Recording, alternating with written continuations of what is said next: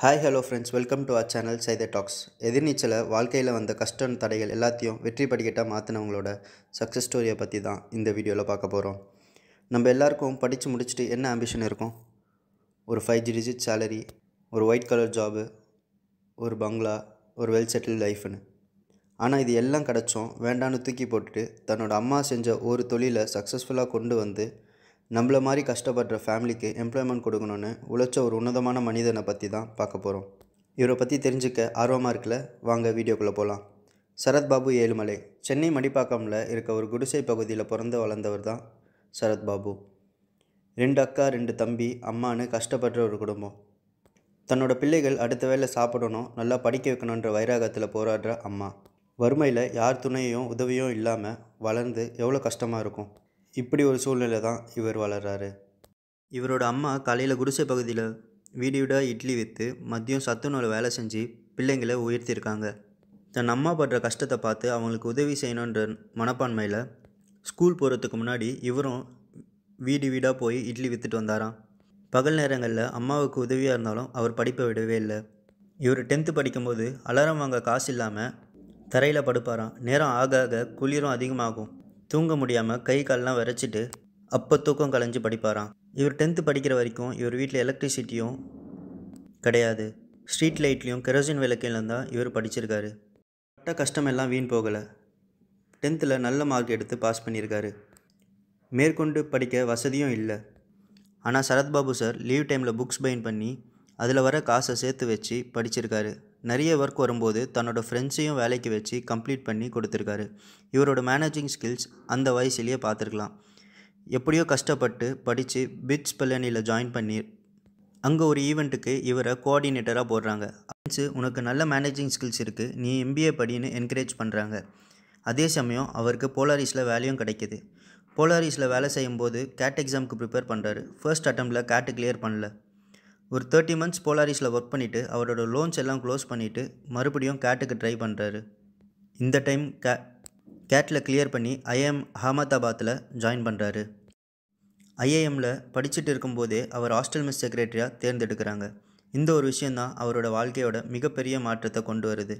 சின்ன வயசில் அவங்க அம்மா கிட்ட கற்றுக்கிட்ட வியாபார நுணுக்கம் மிஸ் செக்ரட்டரி பொசிஷன் கற்று தந்த நிர்வாக திறமை எப்படி ஒரு உணவை தயாரிக்கணும் டிஸ்ட்ரிபியூட் பண்ணணுன்ற அனுபவம் இது எல்லாம் வச்சு இவர் சொந்தமாக ஒரு கேட்ரிங் சர்வீஸ் பிஸ்னஸ் ஆரம்பிக்கிறான்னு நினைக்கிறாரு. வெறும் என்டர்பிரனர் ஆகணுன்றதுக்காக இல்லைங்க. அவர் கேட் எக்ஸாமுக்கு ப்ரிப்பேர் பண்ணும்போதே thirty percentage of Indian population ரெண்டு வேளை உணவுக்காக கஷ்டப்படுறாங்கன்னு ஒரு ஸ்டாட்டிஸ்டிக்ஸ் ரிப்போர்ட் படிக்கிறாரு. அன்எம்ப்ளாய்மெண்ட் படிக்கும் படிக்கிற இளைஞர்களுக்கு வேலை இல்லாமல் இருக்கிறதுனால நம்மள மாதிரி கஷ்டப்படுறவங்களுக்கு வேலை கொடுக்கணுன்ற ஒரே காரணத்துக்காக தான். கேம்பஸில் ஒரு நல்ல கம்பெனியில் எயிட் லேக் பர் ஆனம்க்கு ஆஃபர் கிடைக்கிது. அந்த ஜாப் தன்னோட குடும்பம் கஷ்டத்தை போக்கவும் ஒரு நல்ல செட்டில் லைஃப்பை லீட் பண்ணுறதுக்கும் போதுமானதாக இருந்துச்சு. பட் அவர் அந்த வேலையை வேண்டான்னு சொல்கிறாரு தானாக ஒரு பிஸ்னஸ் ஆரம்பித்து தன்னை மாதிரி கஷ்டப்படுற ஃபேமிலிக்கு எம்ப்ளாய்மெண்ட் கொடுக்கணுங்கிறதுல உறுதியாக இருக்கிறாரு. ரெண்டாயிரத்தி ஆறில் அவரோட ஃப்ரெண்ட்ஸ் கொடுத்த ஒரு ஒரு லட்சம் ரூபாவை முதலீடாக வச்சு ஃபுட் கிங் கேட்ரிங் சர்வீஸ்னு ஆரம்பிக்கிறாரு. ஐஏஎம் அகமதாபாத் தலைவரும் இன்ஃபோசிஸ் தலைமையாளர் திரு என்ஆர் நாராயணமூர்த்தி இவங்க ரெண்டு பேர் சேர்ந்து ஃபுட் கிங்கை திறந்து வைக்கிறாங்க. அங்கே விதைச்ச ஒரு விதை தாங்க. உலகம் முழுவதும் இருபத்தெட்டு பிரான்ச் ஆரம்பித்து ரெண்டாயிரத்தி பதினொன்றாம் ஆண்டு ஃபுட் கிங்கோட டேர்ன் ஓவர் பார்த்திங்கன்னா எட்டு கோடி. இந்த சொசைட்டி நல்ல மாற்றத்தை கொண்டு வர ஒரு ஸ்ட்ராங் அத்தாரிட்டி பவர் வேணும்னு அவர் டூ தௌசண்ட் நைன் எலெக்ஷனில் இண்டிபெண்ட் கேண்டிடேட்டாக நின்று தென்சென்னை தொகுதியில் போட்டியிட்டு பதினஞ்சாயிரம் வாக்குகள் பெற்றார். பட் ஆனால் அந்த எலெக்ஷன் அவருக்கு தோல்வியிலேயே முடிவடைஞ்சிருக்கு.